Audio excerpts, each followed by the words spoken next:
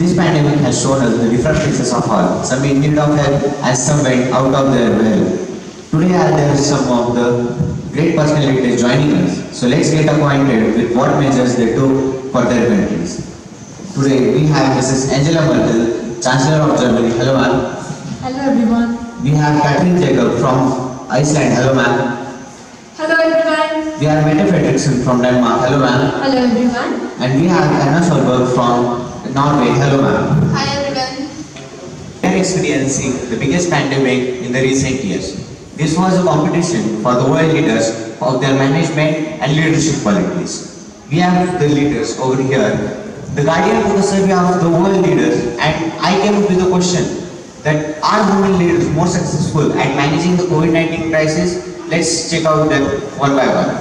We have Mrs. Angela Merkel from Germany. Welcome to the show, ma'am. Uh, ma'am, my first question is, how did you manage the COVID-19 crisis with a population of 83 million? Um, I was held for direct but uncharacteristically personal public interventions. I warned that 70% of people will contract the virus. This would be the country's greatest challenge since 1945. Thanks to the extensive testing kits from the outset and plenty of intensive care beds. Germany has so far recorded 5,000 deaths, a far lower figure than most European countries. I had been giving forth reminders that COVID-19 was serious and my people took it seriously. So hats off to them as well. Very nice to know, ma'am. My next question is, did it affect your GDP and how did you come back? Uh, yes, this pandemic caused a historic decline in the economic output in Germany.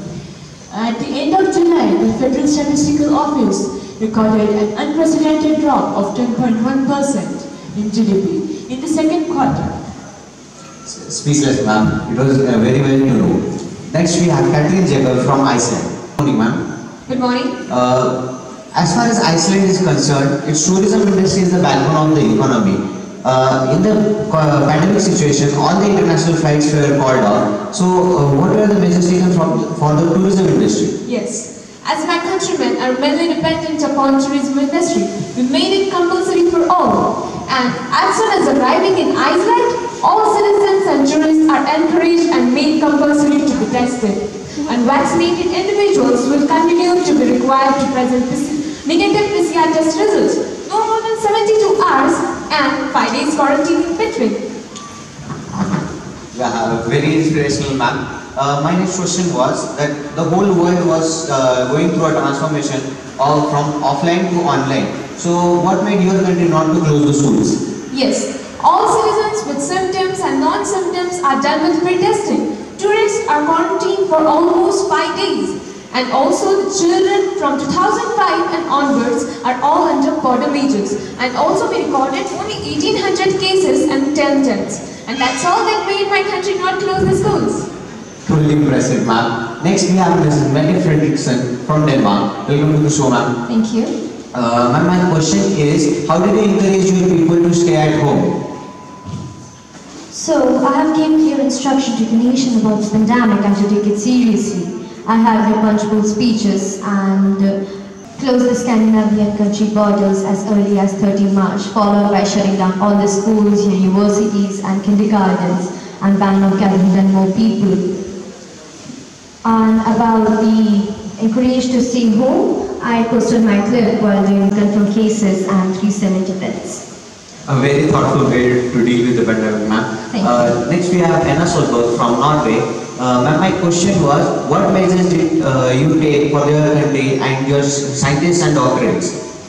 Norway and Sweden have similar population and similar healthcare system, but a different reaction to COVID-19 pandemic.